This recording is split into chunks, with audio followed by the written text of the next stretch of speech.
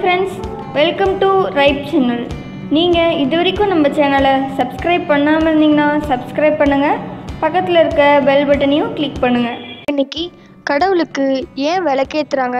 அதனால் என்ன நன்மைகள்லாம் நடக்க போகுது? அது எப்படிலாம் பண்ணணும்? அப்படின்னு சொல்லிட்டு தான் பார்க்க போகிறோம் பொதுவாக விளக்கில் வந்து திரியை போட்டதுக்கப்புறம் எண்ணெய் ஊற்றக்கூடாதுங்க ஃபஸ்ட்டு எண்ணெய் ஊற்றிட்டு அதுக்கப்புறம் தான் திரி வந்து போடணும். பசு நெய் எல்லா சுகங்களுக்கும் கிடைக்கும் செல்வம் அதிகரிக்கும்.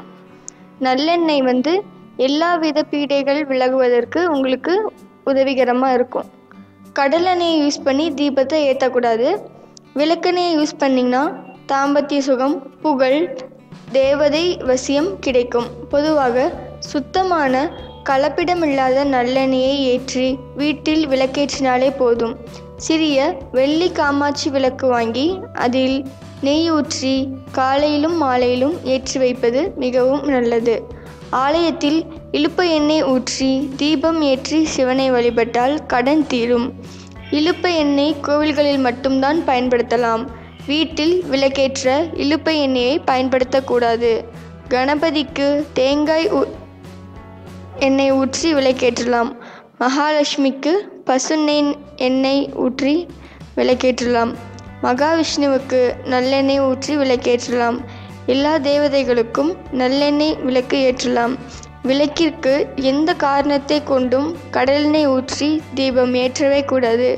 அப்படி ஏற்றி வைத்தால் கடன்கள் பெருகும் தீய விளைவுகள் தான் ஏற்படும்.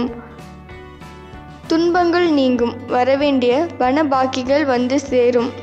பசுனை விளக்கு பயன்படுத்தி வந்தாள்.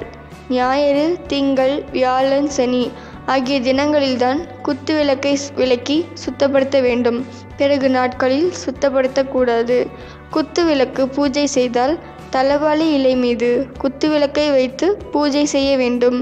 விளக்கில் விபூதி சந்தனம் அல்லது குங்குமம் உச்சியில் ஒரு பொட்டும் அதன் கீழ் மூன்றும் அதன் அடி கீழ் இரண்டும் அடியில் இரண்டக எட்டு இடங்களில் பொட்டு வைக்க வேண்டும். குத்து விளக்கின் அடிபாகத்திலும் நடுப்பகுதியிலும் உச்சி பகுதியிலும் பூச்சுட வேண்டும்.